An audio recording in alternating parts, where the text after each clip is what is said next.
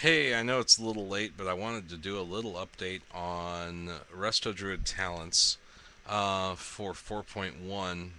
I know they changed them a while back, and I've had a lot of chances to uh, work with them. Um, here's the deal, folks. Back over in balance over here, I don't really do the Nature's Grace thing anymore. 15% spell haste once a minute when I use regrowth it's not worth spending three points in. Just to get down to reducing the cost, the mana cost of my spells by 369% to get to Moonglow or to go to Genesis, um, or to you know add six percent of my uh, to my healing. Reason being, first of all, I wanted three points in Furor, and the way they redid this, the uh, actual um, spec or the talent tree, they redid it so that uh, efflorescence actually works out really well. I used to not spec into that. I didn't even spec into living seed. But now that efflorescence is a smart heal uh, that heals only three people, uh, the three most injured targets, it makes it a lot more effective. It makes it a lot more um, useful. Um, now, Living Seed, I'm still experimenting with because you know when you critically heal your target with Swiftmend, blah blah blah blah blah, you know we're not really stacking crit much. But come 4.2, crit may actually become a viable stat to stack because they're increasing the amount of um, uh, crit from 1.5 uh, a multiplier to two, uh, a multiplier of two. So you know if you would normally have hit for 10k on a heal and you crit, right now you hit for 15k. Uh, come 4.2, you're going to be hitting for 20. So crit may actually become more of a viable stat. Um, as was pointed out to me in my last uh, video about this, Fury of Stormrage, that's mainly for PvP, so you want to ignore that and avoid that. Nature's Ward, that's kind of you know, I could see that being really nice on the Jin'do fight, but um, really, still, if you have good people, you're not going to need it. And reducing all spell damage taken by two percent, a lot of the damage you're going to be taking is, you know, physical damage. The damage that's really going to hurt you is going to be physical. So that said, really, we're just filling up the entire tree here anymore.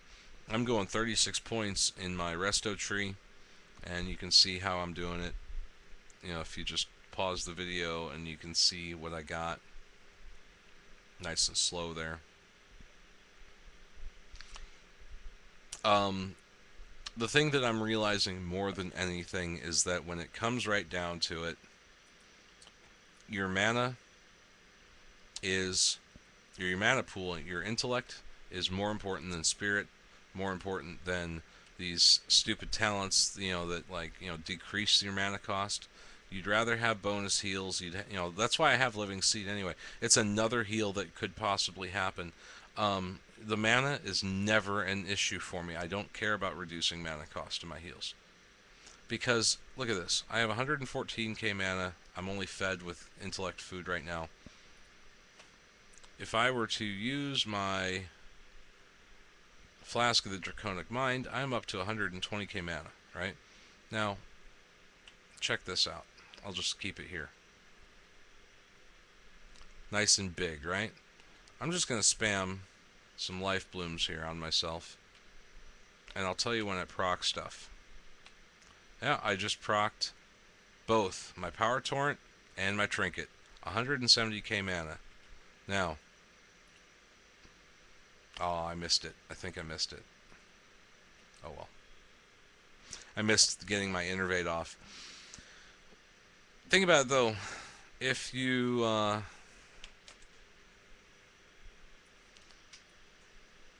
if I have 170k mana, right, times 0.2, that's 20%. My innervate will restore 34,000 mana, right? And it does it over how many seconds? 10 seconds? So that's, you know, divided by 10. 3,400 mana a second. Compare that to what I used to have, I used to have 100k mana, right, times 0.2 divided by 10, that's 2,000 mana, so 1,400 more mana per second, just by having more intellect. Now, you have your revitalized proc. You're always getting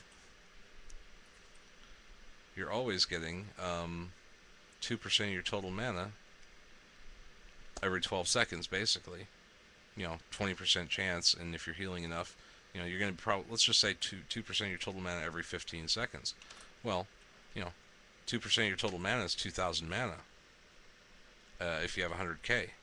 But if you have 120k times uh, 0.02, that's 2400. That's an extra 400 mana um, every 15 seconds. So, you know, divide that by 3, and that's your MP5. That's an additional 800, um, or that's 800 MP5 rather than, you know, was it 2000 divided by 3? 666, so minus 800. That's 133 MP5 more. Sorry, I wasn't showing what I had on my screen there. So 133 MP5 by increasing your um, your mana pool by 20k. Now, think about it this way. You also have extra crit chance from intellect. You have extra um, spell power from intellect. So, you know, like when you have your power torrent and your Mandala of Stirring Patterns proc, yeah, you know, extra 1926 intellect, you pop a new life bloom, refresh that life bloom on the target, and all of a sudden it's empowered by that extra spell power. You've refreshed the life bloom, so you start getting that other portion of this back. Um, replenishment, where it's 1% of your maximum mana per 10 seconds. So, you know, do the calculation on that. You know, I have 170,000 mana, right? Well, times 0.01, right? That's 1%, 1700 mana every 10 seconds. So, MP5 on that is an extra 340 mana if you refresh the Life Bloom while you have your Power Torrent and your Mandala Stirring Patterns proc at the same time. So 340 mana MP5 extra for the duration of those. So, you know, if you look at Power Torrent, um, where is it? Right here? 500 for 12 seconds, right? So 340, you know, uh, you know, times or divide by 5 times 12 816 extra mana uh, because of, of, power torrent and that um, or never mind. That's that's wrong. Oh yeah it's for 12 seconds. And the Mandala Stirring Patterns lasts for um, for 10 seconds. So, you know, those intellect procs are really, really nice. And that's when you, you know, especially if you have, you know, like something like Innervate, like a druid does. So, as a druid healer, you really, really want to stack your intellect. Your spirit really doesn't make that much of a difference, especially once you get past 2000. I'm at 2436 right now. So, stack that intellect, folks. Stack it, stack it, stack it, stack it. Oh, and, uh, uh, when it comes to the uh, other stats, my haste 4.5%. You know, I the only reason you should ever stack haste as a druid is if you're a raid healer that's spamming rejuvenations all over the place. You get your 12.5% haste. You get if you get to 12.5, not 12.49. Once you hit that 12.5 mark, you get an extra tick on your light on your rejuvenation. That's all there is to it. That's all that you're doing. And the extra tick, yeah, it adds to your overall healing if you set it and forget it. If you send out, set out that, that rejuvenation and you never touch that guy until the rejuvenation is gone, you know, if you don't refresh the rejuvenation or you don't refresh, you know, uh, uh you know the other hots, it's not going to make a difference if you're clipping your hots all the time. If you're a tank healer, if you're doing five mans, ten man raid healing, I would say don't waste your um, points on haste. You're just not going to be uh, you know needing that extra tick all the time. Uh, if you're spamming your wild growth like you should, if you're using your rejuvenations and uh, you know you actually want to stack mastery so that you know in 10 mans because you have a lot more chance of laying down a bed of um, wild growth and then stacking up a uh, a hot on top of it to proc the mastery proc and causing you to have like uh, like mine is 26% more healing, you know, on any person that already has one of my hots on them. 20% bonus healing. Mastery is the way to go. Don't stack the crit, don't stack the haste. Stack your int and stack your mastery once you get to a certain amount of spirit. Alright, that should do it for now. I hope uh, I've helped out. Now, keep in mind in 4.2 they're changing mastery around. It's going from the symbiosis to some harmony thing or something like that where you have to kind of mix it up with your direct heals and your hots. But Swiftmend will work for that, and you're going to be wanting to use Swiftmend almost on cooldown in most raids anyway. Um, it's always nice to have a nice little bed of flowers down. Um, even if you're not spamming life blooms and nourishes or regrowths around, you're still going to be alternating between direct heals and hots.